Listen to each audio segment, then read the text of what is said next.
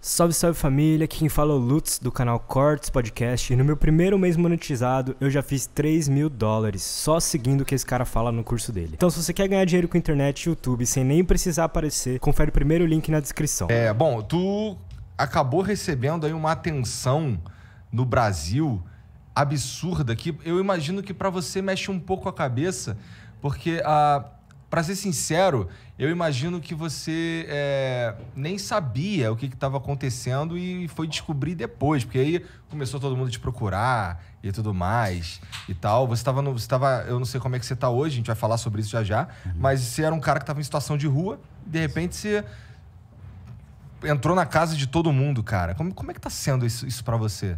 Cara, obrigado pela oportunidade de estar com vocês. Parabéns por toda a estrutura. É esse local é um local santo de informação. Uh, é uma coisa muito nova, porque tem hora que eu ainda não acredito direito.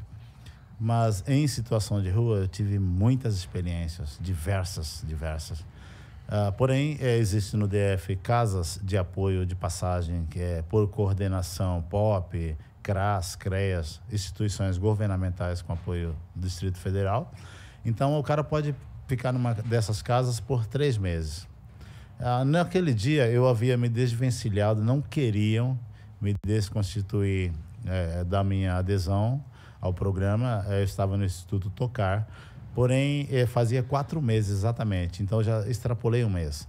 Mas aí. Tu queria sair? Eu queria sair. Tá. Eu pensei comigo assim: existem coisas é, de apoio, é, auxílios, por assim dizer, no Distrito Federal e o Distrito Federal é de um jeito de mais amparo, mas em outros locais também.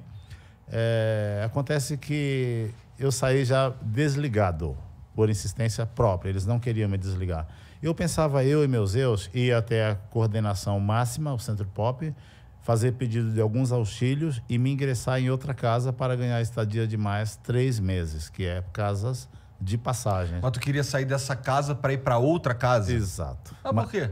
Porque é três meses o programa e eu estava já há quatro meses. Então eu achei que qualquer hora eu poderia ser desligado. Então eu pensei, e aí ficar totalmente desamparado. Isso, e ponderei. As ruas é muito sofrido. Converso com pessoas na rua o tempo todo, no caso no DF, né? Agora não estou lá, uhum. é, para que eles saiam da rua, porque, cara, é, é, um negócio é sofrido. Você pode ser vítima de várias coisas, principalmente porque nas ruas as pessoas fazem uso de muitas coisas e aí, por um instante qualquer, igual eu já tive a cabeça rachada duas vezes estando na rua, e aí eu percebi que as pessoas fazem uma coisa inconsequente. Mas é, por que, que te não bateram? É, não é que ela quer. Nessas cara, vezes aí que te racharam a cabeça? Cara, certa vez em Luiz Eduardo, que é a cidade a qual eu conheci as ruas, é, estávamos, é, fomos até uma casa de abrigo que se denomina Dona Maria e apoio do padre local, que eu não reconheço o nome agora. É, e pegamos comida. Aí voltamos para a praça, estava uma festa maravilhosa em frente à igreja matriz, tem quiosques.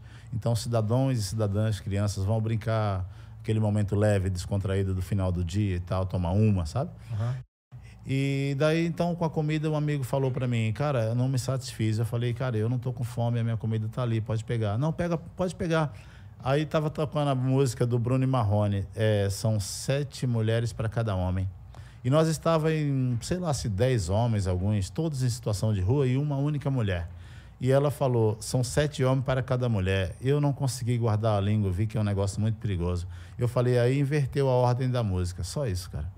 Aí eu tive a experiência de ter a cabeça rachada a primeira vez. Mas tu falou isso e um cara veio rachou da cabeça? Veio alguns. Era, é, era, alguns, era esposa cara. de alguém?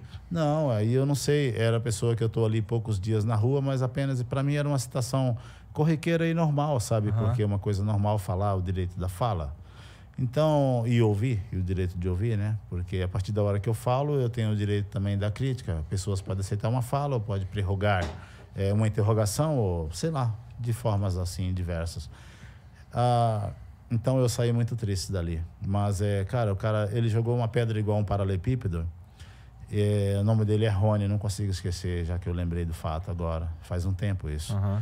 E eu estou no DF já um ano e pouco, então faz realmente um tempo. Tu não é de lá? Não, eu sou baiano de Pilão Arcado, cara. É? Pilão Arcado.